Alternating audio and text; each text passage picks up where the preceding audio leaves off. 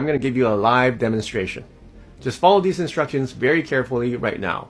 You're going to need to use both of your hands, so if you're holding the phone right now, just put it on the surface so that you can free up your hands. I'm going to give you a moment to do that right now as you keep watching this video. Okay, are you ready? Let's start. Take out one of your hands and make an OK sign, and take out the other hand and do the same thing. Now link the OK signs together like this. Now while you try to keep this link together, also try to pull it apart with your arms. So like this. Okay, do that a few times. Okay, try to keep the link together, but also pull it apart with your arms and see how much strength it takes to pull apart that link. Okay, you got the idea? So you have a feeling of how much energy and strength it takes to pull apart the, the link. So keep that in your mind. Now if you look below this video, there should be a link that says Qi Energy Broadcast Demo.